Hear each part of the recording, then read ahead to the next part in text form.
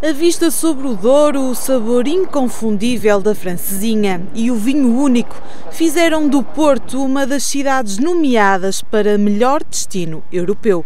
Visitamos as Caves Ferreira em Vila Nova de Gaia, que contam com mais de 250 anos de existência e é portadora de um dos segredos mais bem guardados que tornam o vinho do Porto reconhecido internacionalmente.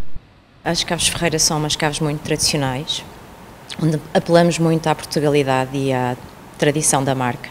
Uh, são umas caves onde nós recebemos mais de 100 mil visitantes ao ano, de várias nacionalidades, portanto, até ela é muito multicultural, onde as pessoas têm a oportunidade de perceber a tradição do vinho do Porto, o que é que é o vinho do Porto, o que é que o distingue de todos os outros vinhos e onde proporcionamos vários tipos de serviços e de, e de provas aqui nas caves e onde as pessoas fazem uma visita guiada com uma duração de cerca de 35 minutos, onde lhes é explicado todo este processo de envelhecimento e no final da visita têm a oportunidade de provar os nossos vinhos e de saber um pouco mais sobre todos eles.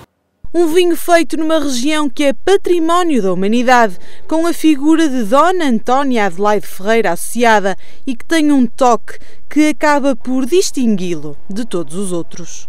O que o distingue de todos os outros é, é que é um, o facto da sua fermentação não ser completa, daí ser um vinho mais licoroso e que habitualmente é conhecido por ser tomado como um aperitivo ou então no final de uma boa refeição, rodeado da família, dos amigos, portanto é um vinho que é ótimo quando nós estamos com, em convívio.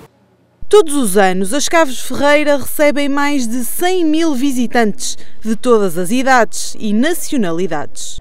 Quem escolhe os vinhos é ele, que é quem conhece mais de vinho, mas aqui parece um lugar bastante tradicional. A parte da visita ao museu e todos a, os barris de vinho foi muito interessante, a pessoa que nos atendeu foi ótima e os vinhos estão excelentes.